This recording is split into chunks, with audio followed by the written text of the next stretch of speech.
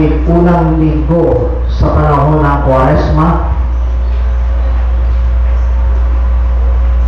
ating po pagmimilayan ang magandang balita ng Panginoon ay hahanguin natin sa Ebanghelyo ayon kay San Mateo. Matthew chapter 4 verses 1 to 11. Matthew chapter 4 verses 1 to 11.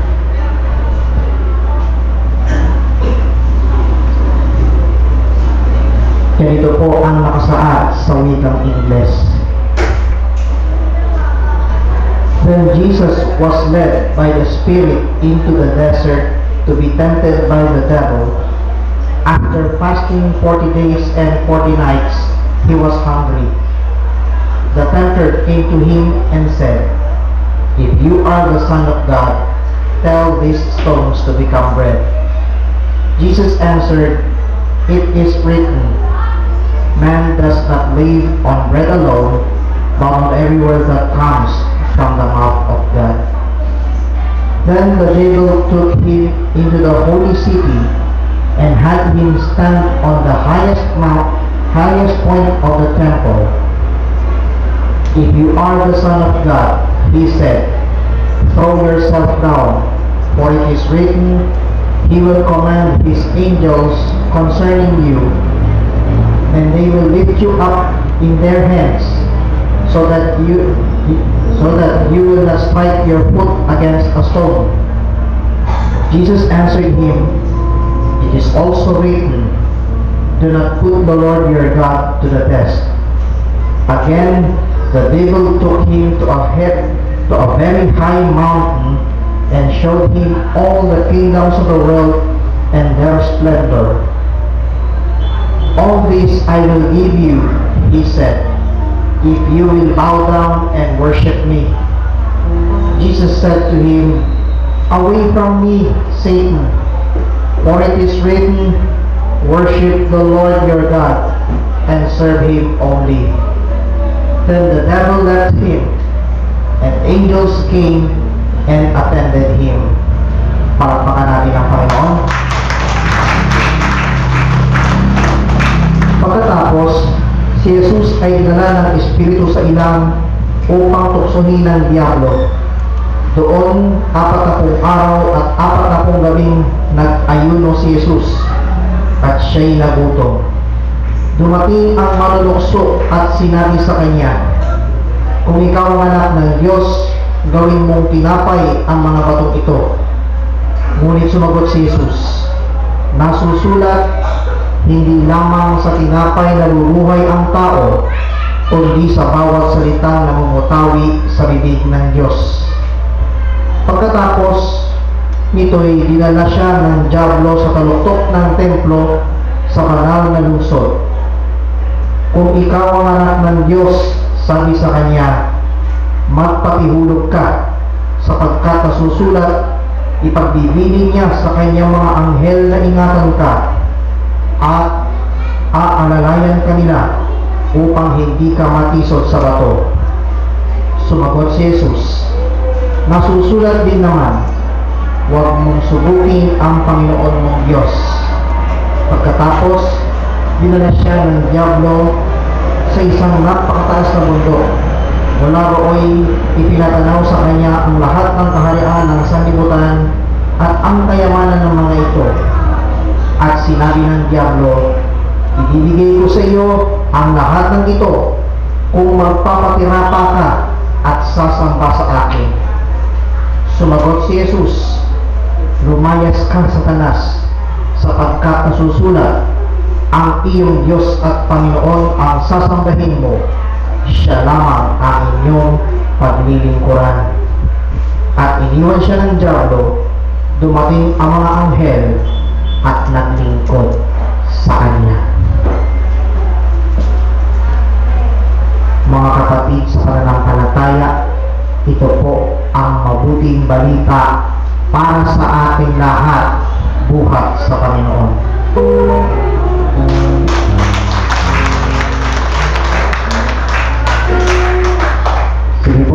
tayo magsiupo sa napakagandang presensya ng ating Diyos sa buhay.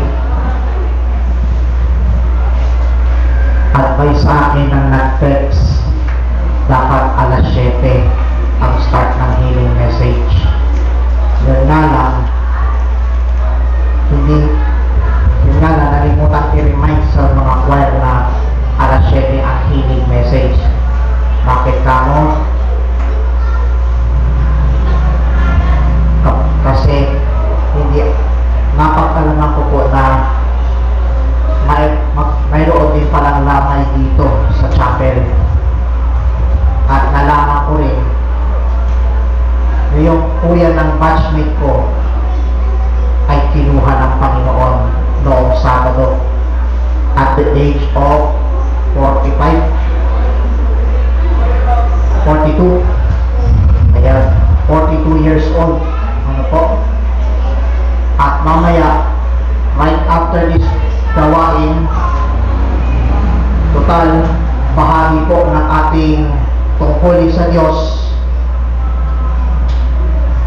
Let us pray for the for the soul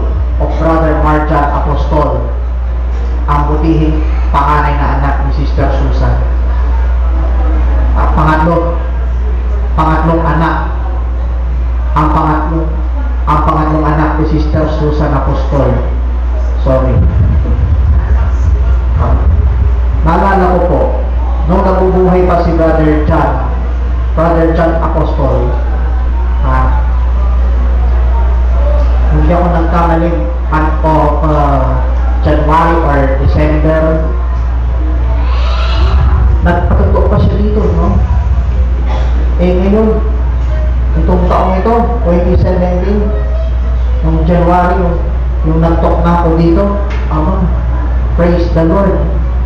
Yung kanyang anak na si Brother Marjan, under training, tama po ba? At nitong nakaraang Sabado, nalaman ko po, ayon sa Facebook post ng aking batchmate, na kinuha ni Lord ang kanyang kuya. Ika nga sa isang audiovisual presentation ng Silver Jubilee celebration ng gawain ito, hindi dapat natin ikalungkot ang pamamaalam sa daigdig. Bakit? Sadyang alam ng Diyos kung ano, alam ng Diyos kung pahabain ang buhay o iiklian. Amen? Kaya mamaya, right after this, sama-sama natin ipagdasal at maghandog ng mga awiting makalangit para sa yumako kapatid natin si Brother Marjan Apostol. Purihin natin ang Panginoon. At sa pasimula ng ating uh, pagninilay na ito, sa mensaheng ito, ito po, introduction pa lamang ito. Bago maranasan ng ating Panginoong Yesus ang tukso, ano ang kanyang tinanggap mula sa Diyos Ama.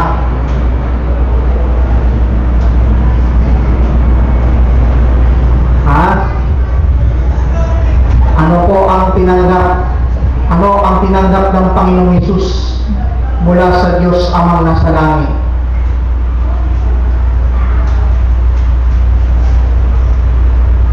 Ang Espiritu Santo. Ang kapuspusan ng Espiritu Santo. Amen po ba? Kapatid, kaibigan, ka-prayer partner, noong time na si Jesus ay mabautismo sa ilong Jordan, bumaba sa kanya ang Espiritu Santo sa anyong kalapati na siyang napuspos.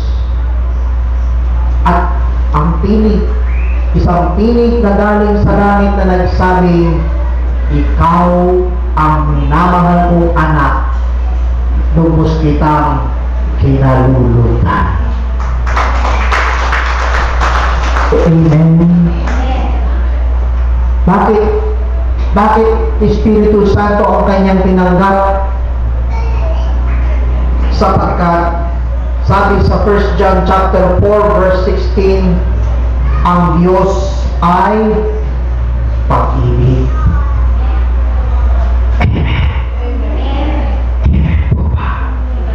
Kapatid, kaibigan, ka-prayer partner,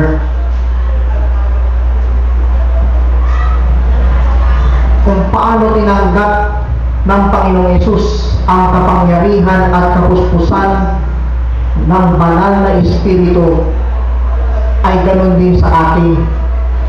Bakit kamo? Sabi ng ating Panginoong Yesus sa Acts chapter 1 verse 8, And you will receive power when the Holy Spirit comes on you, and you will be my witnesses in Jerusalem, and in all Judea, and Samaria, and Central Bikutan. Wala pa kayong palakpak sa Panginoon. Siningin ko lang po yun. Pero wala sa Bible. And to the ends of the earth.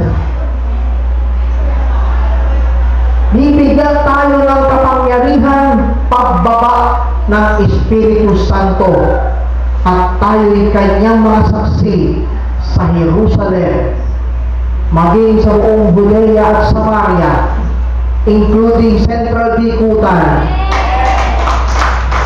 hanggang sa dulo ng daigdig.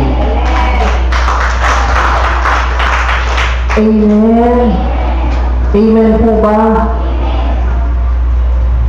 Kaya siya ng Espiritu Santo doon hinahanap ng Panginoong Yesus yung susubok sa Kanya. At sino yun? Yung tina ang tinaguri ang ama ng kasinungalingan. Sino yun? Sino po? Si Satan. Si Satan ang manunukso at siya ang ama ng kasinungalingan. Amen. Akala niya totoo ang kanyang pinagsasabi. Hindi alam. Mag matalim, matubig kulo, pero baloktot. Totoo hindi? Tama po ba o tama? Kala ko sinungaling. Malakas na palakpak sa ating Panginoon. Kaya siya dinala ng Espiritu Santo sa ilang. Para ano? Tuksuhin ang Diablo. Bakit? Ang Panginoong Yesus, apat na araw at apat na gabi nag-ayuno. Amen po ba? Nag-ayuno siya sa ilang. 40 days and 40 nights. Tulad natin na pananampalatayang mga katoliko, nag-fasting at nag-abstinence 40 days and 40 nights mula nang tayo lagyan ng krus ng abo sa ating mga noo at ang sabi, magsisi at maniwala sa mabuting balita.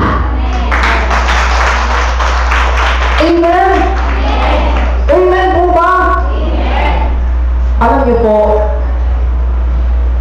noong una, tuwing maririnig ko yung salitang fasting, ang pakinig ko noon, fast eating. Yun ang alam ko noon. Pero nung tinawag, pero ako'y gamitin ng Panginoon sa ministeryong ito. Sa gawain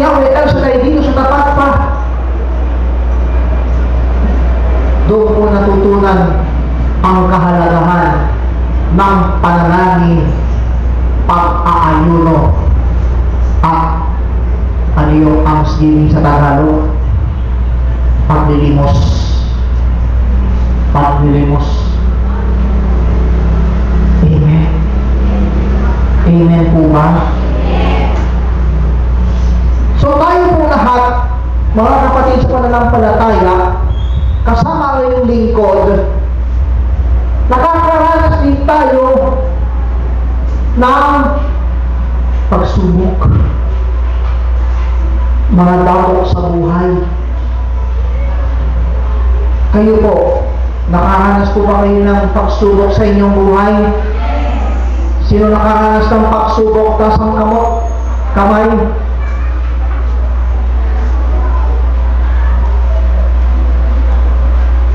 Kayo po, ano ang anong pagsubok ang dumating sa inyo? Nung kayo manalig sa Diyos. Tatanungin ko po kayo, magsabi kayo ng totoo. Anong pagsubok ang dumating sa inyong buhay? Nung kayo mapuspos ng kapangyarihan ng banal na Espiritu. Sa Jose manggagawa, tayo nga lang mag-usap. Hindi, hindi nila masagot yung tanong ko eh. Ulitin ko po, ano po, ano pong pagsubok ang naranasan ninyo? Ano po? Ano yun? Marami, marami daw. Maraming pagsubok ang dumating sa buhay ng tao.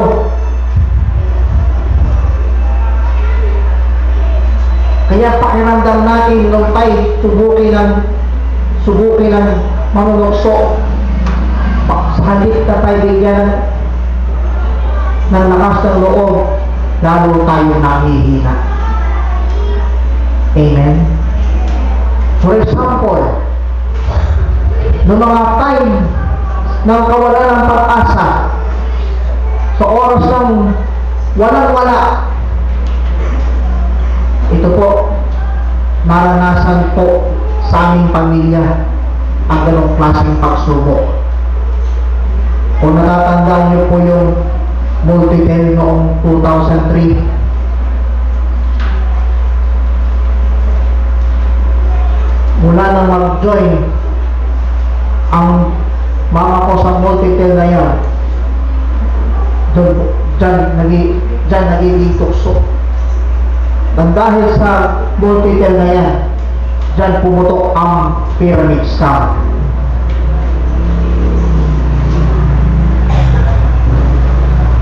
Kaya, si, kaya ang mama ko at ang papa ko na naglilingkod sa Panginoon,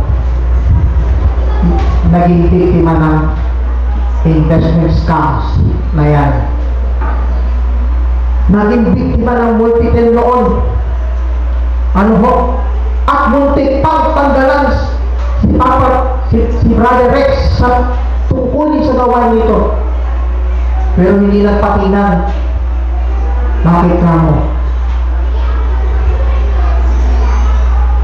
Sabi ng 1 Corinthians chapter 10 verse 13, wala kang pagsubok na dumating sa inyo na di pa dinanas ng tao. Tapat ang Diyos. At hindi niya panginulutan ng subukin sa abot ng ating makakaya. Sa halip, pagdating ng pagsubok, bibigyan niya tayo ng lakas ng loob upang lahat ay mapagtagumpay. Amen. Muntik pang masuspende sa gawain nito si Brother Rex. Yung, yung elder disciple. Pero hindi. Pero mahal siya ng Diyos. Ano pong ginawa ng ating servant leader? Pinag-mission siya sa Bicol. Para ano? Para palipasin yung pagsubok. Amen. Nang dahil sa pagsubok na yun, anong, anong nagawa namin? Nagtinda pa ako ng pulmon para magkaroon ng income.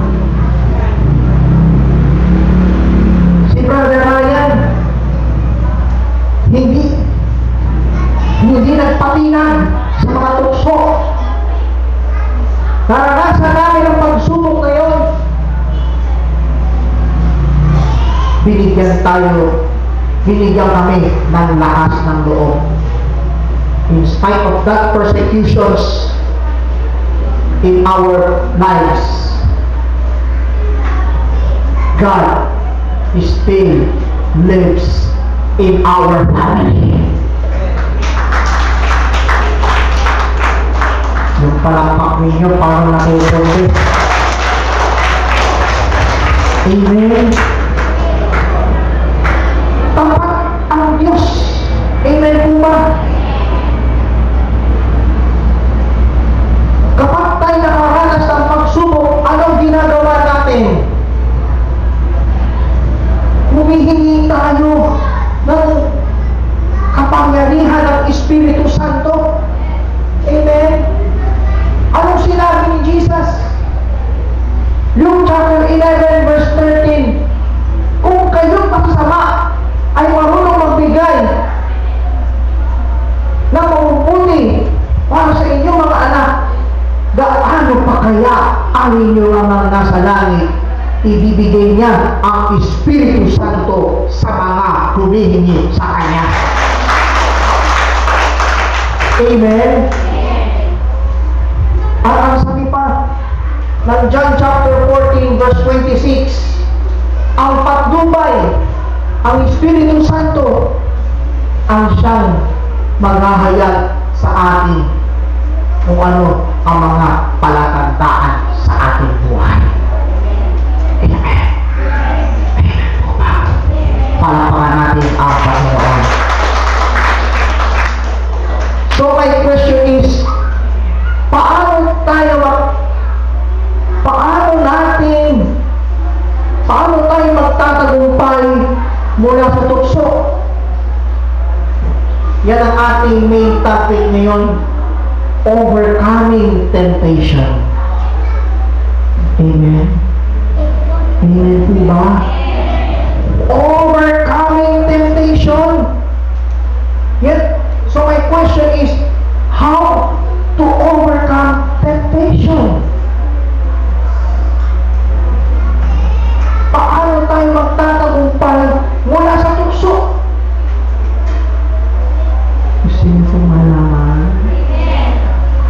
Sino nais ba na magtaas ang kamay? Palakpakan natin ang Panginoon.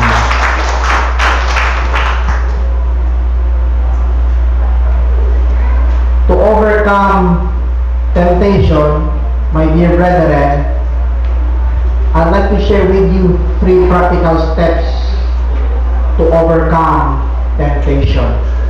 Tatlong praktikal na hakbang upang mapagtagumpayan mula sa kapangyarihan ng tukso. Unang hakbang para magtagumpay mula sa kapangyarihan ng tukso is found in Matthew chapter 4 verse 3 to 4 The tempter came and said to him, If you are the Son of God, tell these stones to become bread. And Jesus said to him, It is written, Man does not live on bread alone, but on every word that comes from the mouth of God. The first practical step is, Man shall not live by bread alone, but by every word that comes from the mouth of God. Ang tao ay hindi lamang nabubuhay sa tinapay. Ang tinutukoy ko po, mga pagkain pisikal. Kundi saan? Sa bawat salita na mumutawi sa bibig ng Diyos. Amen. Kung natatandaan niyo po, yung Genesis chapter 3 verses 1 to 5 ang niyo po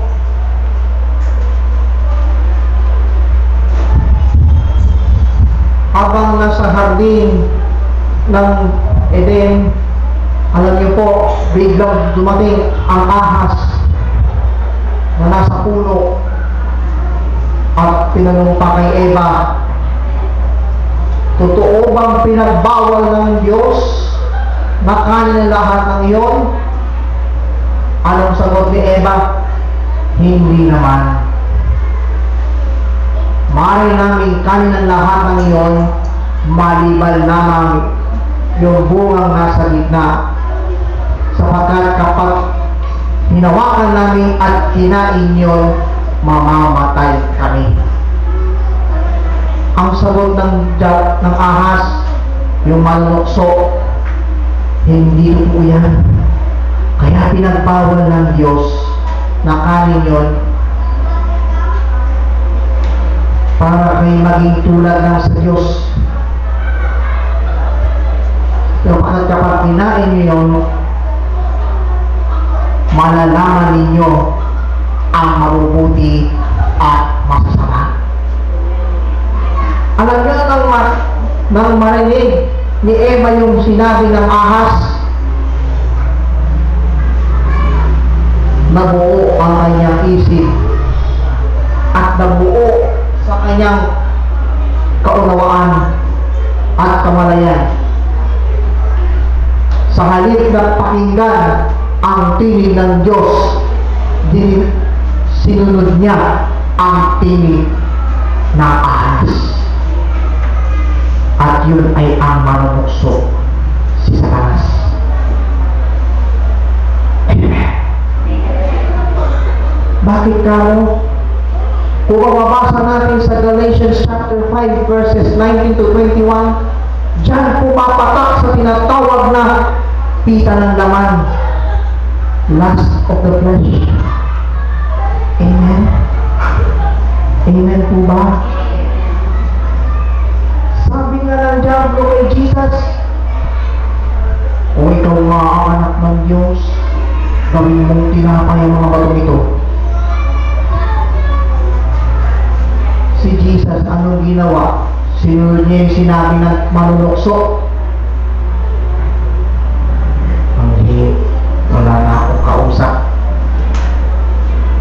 Ginawa ni Jesus? Sinunod ba yung utos ng manunokso? Hindi. Hindi niya sinunod ang challenge accepted ni Satan. At anong ginawa ni Jesus? Pinakitaan niya kay Satan yung salita ng Diyos na nagsasabing hindi lamang sa tinapay nabubuhay ang tao, kundi sa bawat salita na namumutawi sa bibig ng Diyos. Amen. Kapatid, kaibigan, ka-prayer partner, kaya nagkagulo-gulo ang buhay ng tao dahil sa pagsubok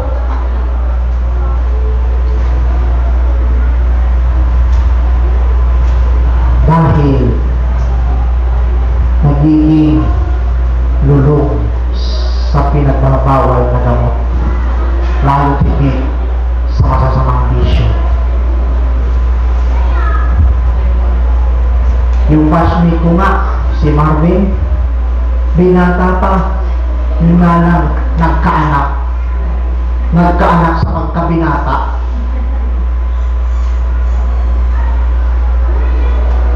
Kung nandito, kung nandito sa batchmate ko at pinakinggan niya ang mensahe nito, nako, lalo magliliwan, lalo siyang maliliwanagan sa mensahe ibabahagi ko sa inyo.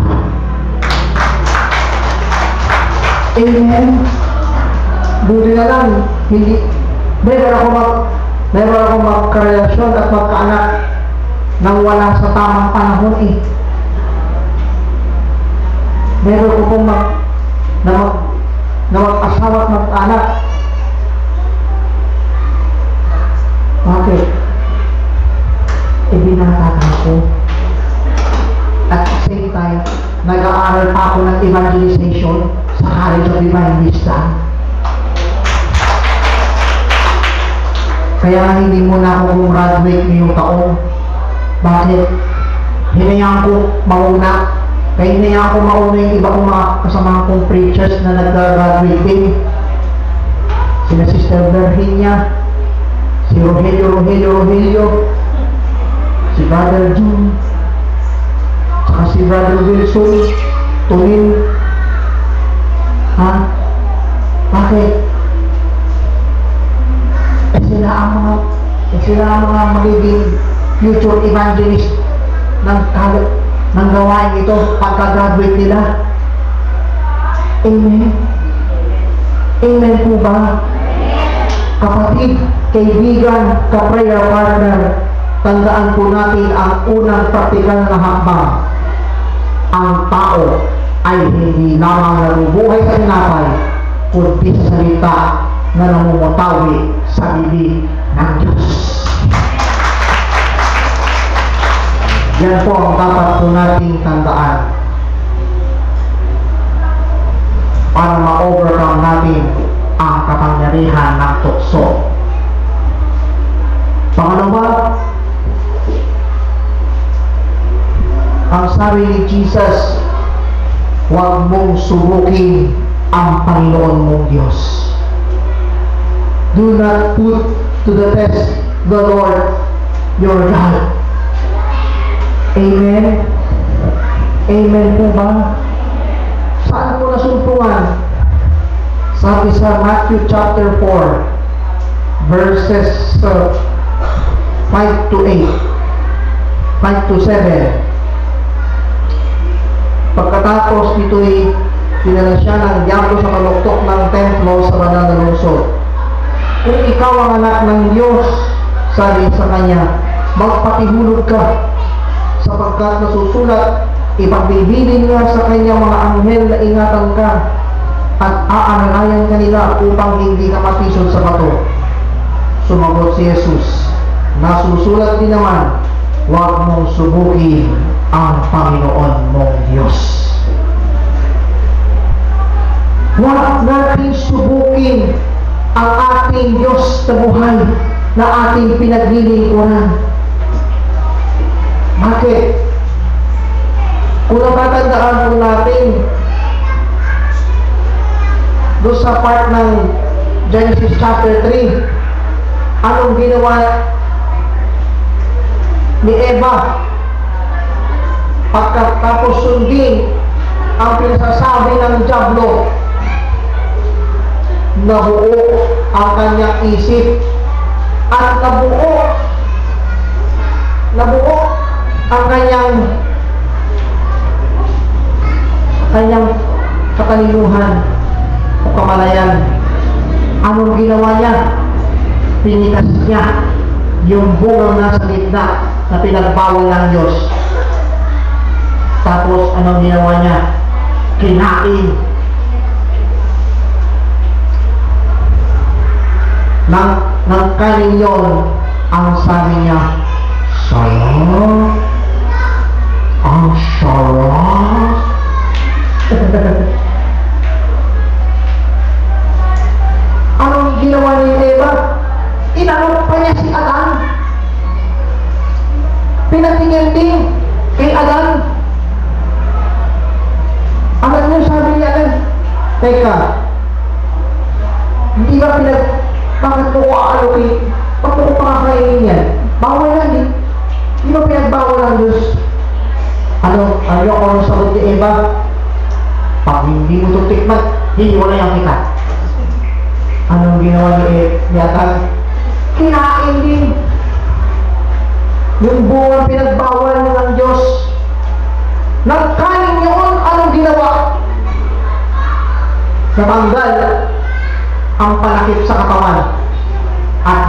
nagmistulang burles.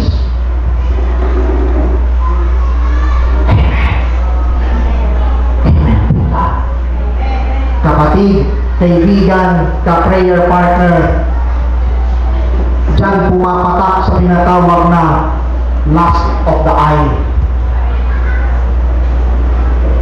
Pati paningin natin pumapatak, pumapatak din sa pita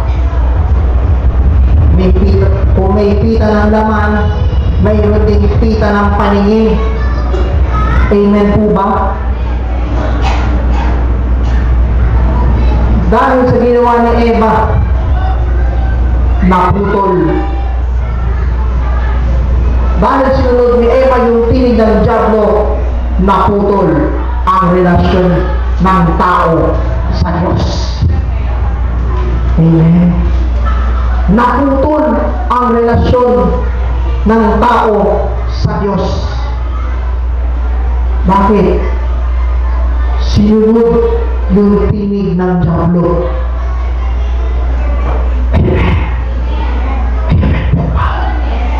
Kapatid, kaibigan, ka-prayer partner, ano po ang sinabi ni San Pablo Apostol sa mga taga-Roma?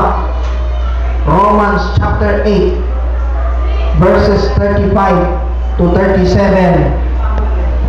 Sino makapaghihiwalay sa atin sa pag-ibig ng Diyos? Ang paghihirap ba? Ang kapigatian? Ang pag-uusig? Ang gutom? Ang kaubaran? O ang taba? Hindi. Ang lahat ng yan ay kayang-kaya natin mapagtagumpayan iyon sa pamamagitan ni Kristo Jesus na nagmamahal sa atin. Kaya nga sabi sa isang awit, Sino makapaghihiwalay sa atin sa pag-ibig ni Kristo?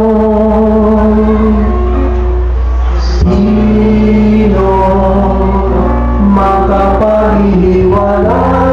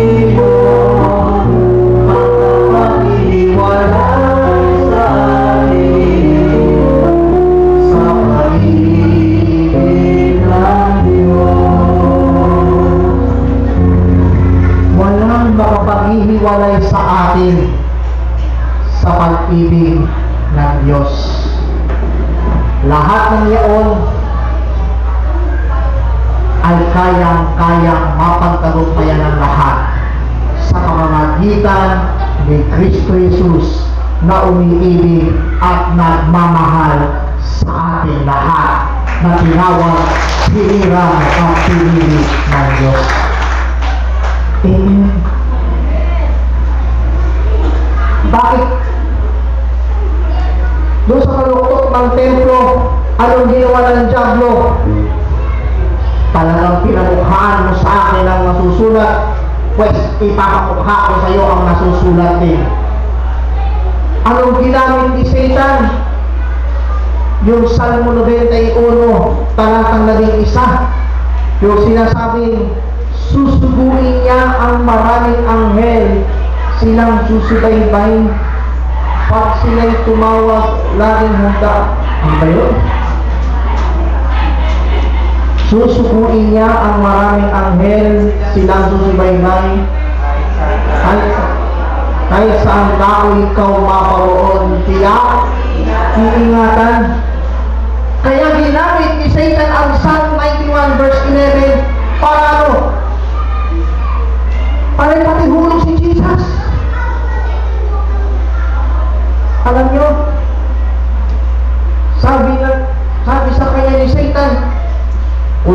ka nga ng Diyos, sige, magpahihulog ka sapagkat nasusulat, uutusan ng Diyos ang kanyang mga anghel na ikay ingatan, aalalayan kanila upang hindi ka matisod sa bato. Alam nyo, hindi siya hindi niya nagawa itong si Jesus. Hindi niya nagawang magpatihulog bakit? Alam niya alam niya ayaw niya. Alam niya na baka siya mahulog pero ang ginawa ni Jesus umatras. Inatrasan niya yung nagawa niya umatras. Sabay sabi kay Satan ang ka talaga. Nasusulat din naman, huwag mong subukin ang Panginoon mo Diyos. Amen. Huwag subukin ang Panginoon nating Diyos. Kaya, yung iba naman,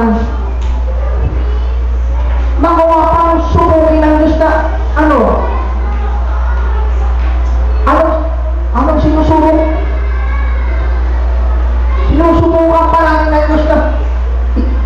ikaw talaga, Lord, kung talagang mabuti ka, kaya-kaya mo bang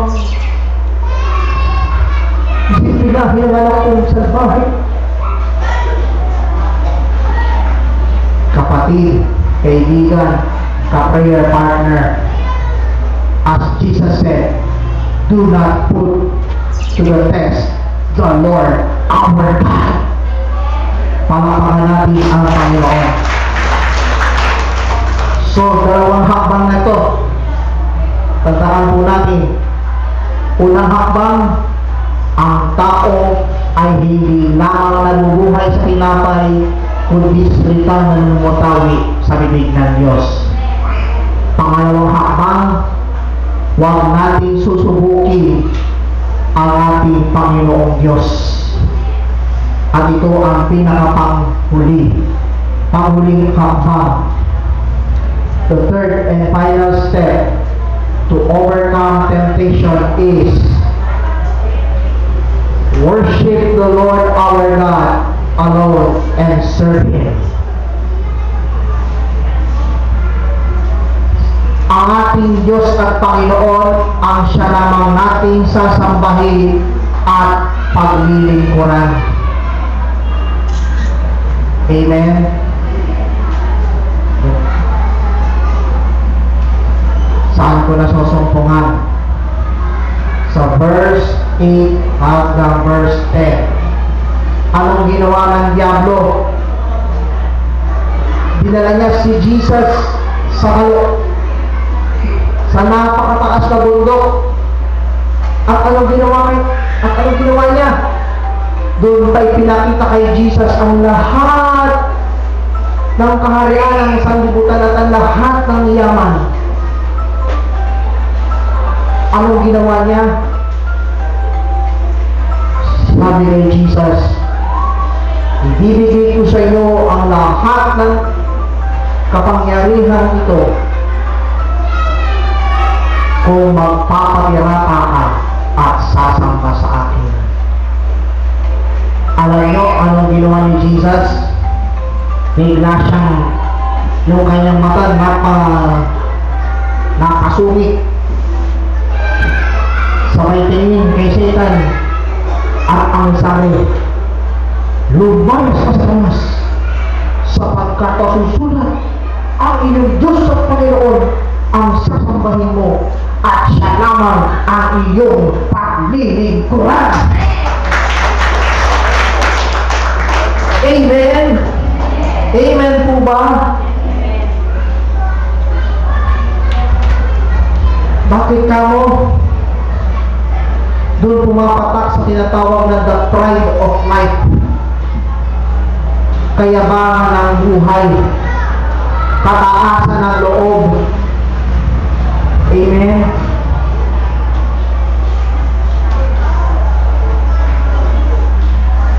Kaya tayo sinusubok.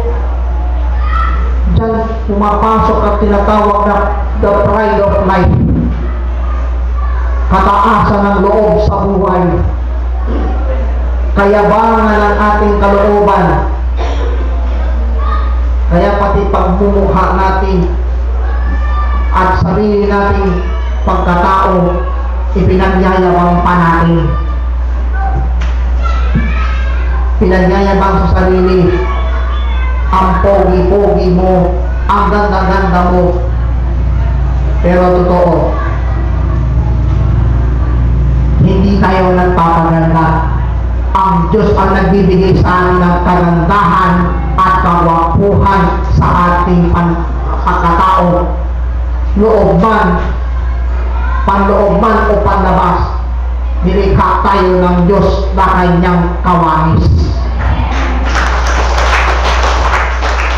Amen?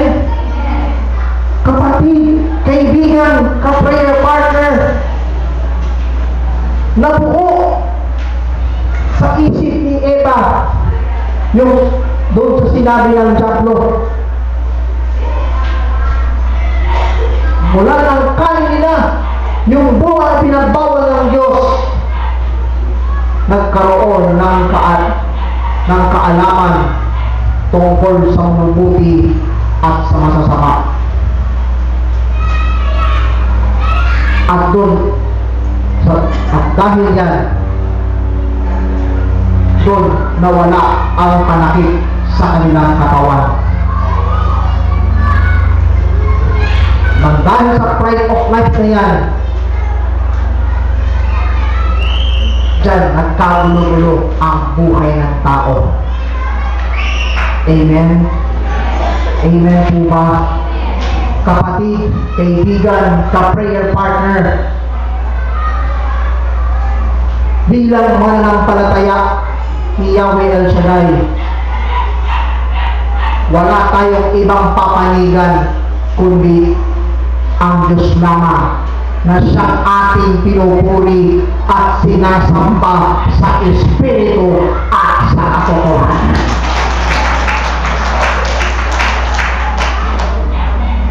Malinaw na sinabi ni Jesus doon sa babaeng Samaritana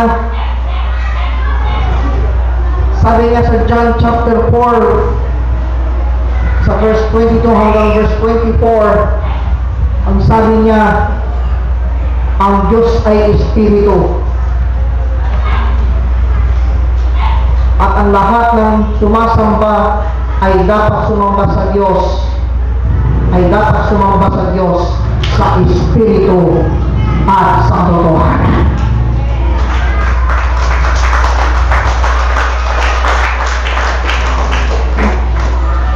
In English, God is spirit. And the true worshippers must worship God in spirit and truth.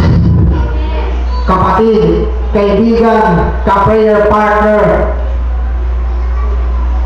kung narinig mo ang tinig na ito, ang mensahe ng Diyos ay binahagi ko sa iyo, natitiyak ko, ang iyong buhay na magulo papalitan ng harmonious harmonious harmonious and harmonious relationship between God and man.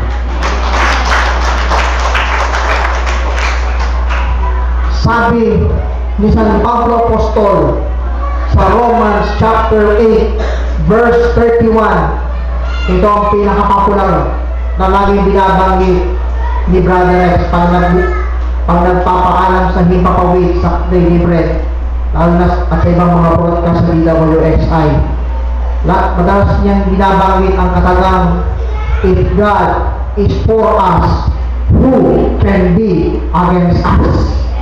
Kung ang Diyos ay panig sa atin sino ang sa atin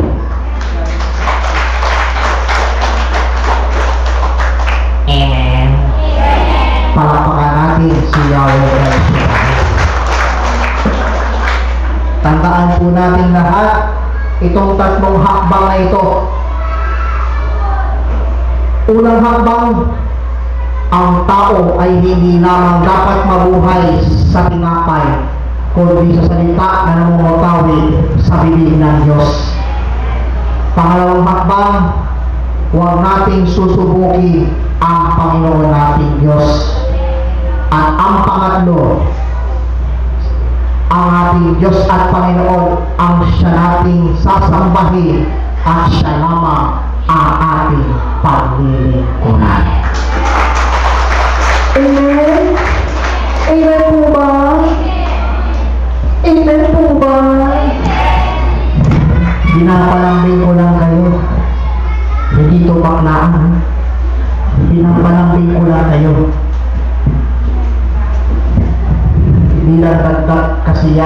Sa atin ng Diyos. Tandaan natin ang tatlong hakbang na ito upang lahat ng pagsubok sa ating buhay na galing sa tukso ang siya ating mapagtatagumpayan sa tulong at awa ng ating dakilang Yahweh Shaddai. Amen. Amen po ba? Dito na tayo magko-conclude sa mga magitan ng katanungan ito. Kayo po ba'y nakakaranas ng mga pagsubok sa inyong buhay? Lakasan niyo po. Nararamdaman niyo po ba na kayo'y nanghihina sa lahat ng mga pagsubok na pinagdadaanan sa ating buhay? Kapatid, kaibigan, ka-prayer partner, ito po ang tandaan natin. Ang kapangayagan ng Diyos sa mga magitan ni San Pablo Apostol.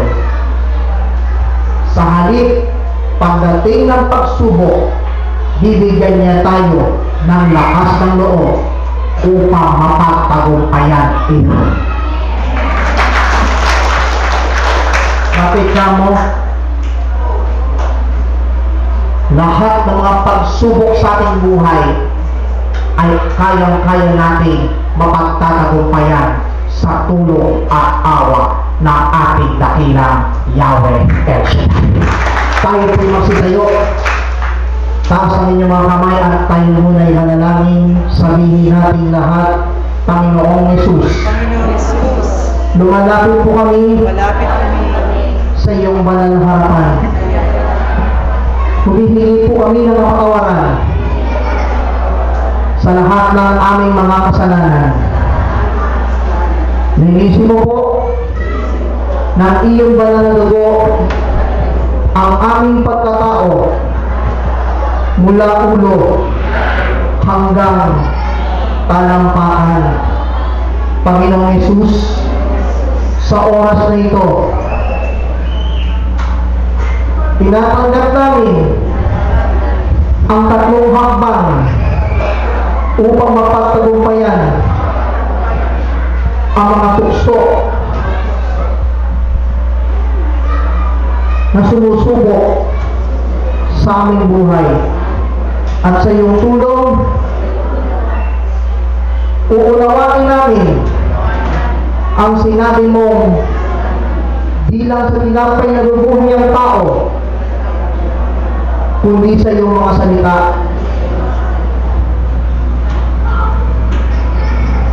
Ang buwan ngayon, di po namin kayo susubukin. Sapagkat ikaw ang ating sinasamba at pinaglilingkuran. Aming Diyos at aming Panginoon. Kaya na pa lang, ngayon pa lang, Panginoong Yesus, tinatanggap ka namin sa aming mga puso bilang aming Panginoon at sarili namin tagapagligtas. Kapatid, kaibigan, kapatid, partner, patuloy na mataas ang inyong mga kamay. And let's declare the song sa Panginoong Yesus ako magtitiwala.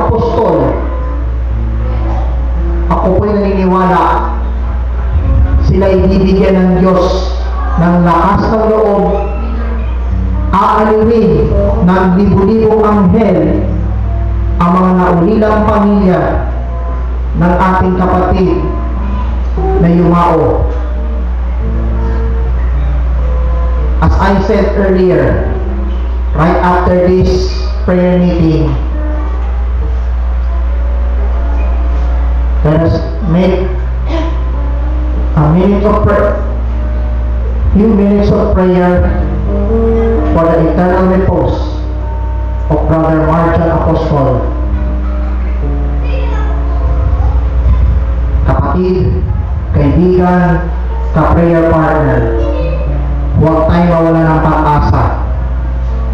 Huwag tayong mababagot. Nandyan si El Shaddai. Ang Diyos amang nasa langit na siyang lumikha ng lahat. Ang Diyos ni Abraham, Isaac at ako. At siya ang Diyos ng nakaalam ng mga panukalang inihahanda sa ating kabubuti. Tayo'y bibigyan ng Diyos ng pag-asa sa, sa haharaping bukas. At kaya naman Panginoon,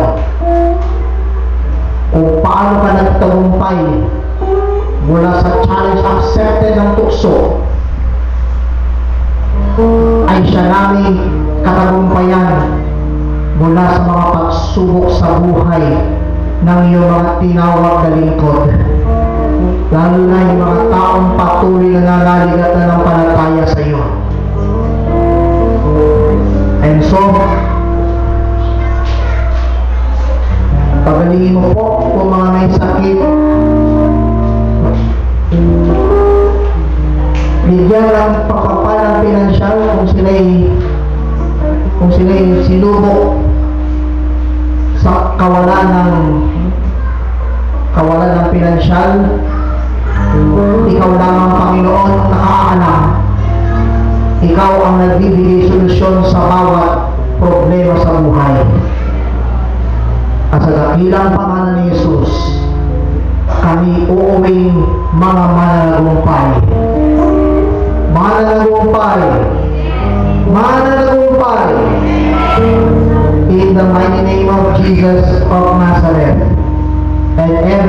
says amen.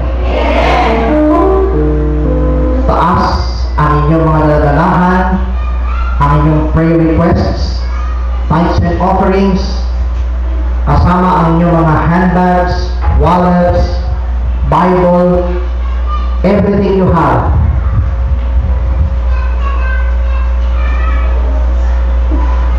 Pagkatapos nitong prayer meeting na ito,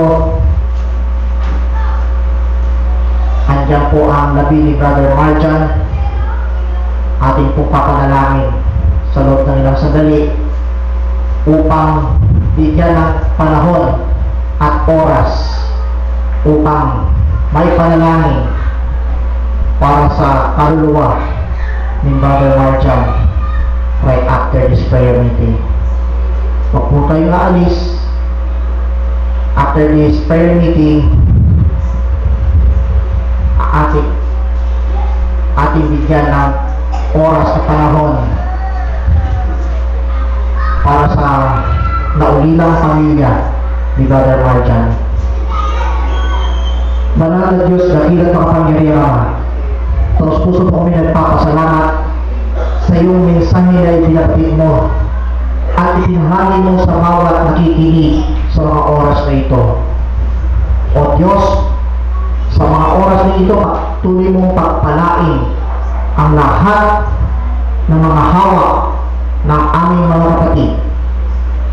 Ang mga panyo, ang tubig, langis, asin, Biblia, wallets, handbags, passports, documents, papers, lahat ng mga sangkat na hawak nila, patuloy mo pagaluin ang kanyang ka- kapangyarihan, lahat ng mga hawak. Maging ang mga larawan ng kanilang mga mahal sa buhay na nasa mobile devices, patuloy mo pong patuloy mong bigyan ng kaliwanagan at bigyan kalakasan. Iabot mo ang iyong mapagpalang kamay yaong mga mahal sa buhay na nasa litrato. Pagpalayo rin po ang lahat ng mga hawak na iyon. Maging ang mga prayer requests na nakasulat sa munting papel ang kanilang mga kahilingan. Inaangkin namin na lahat ay answered prayer. Basbasan mo ang inyong mga kalawatan ko. Ibalik po sa kanila ng gustong takal, siksik, migli at umaapaw.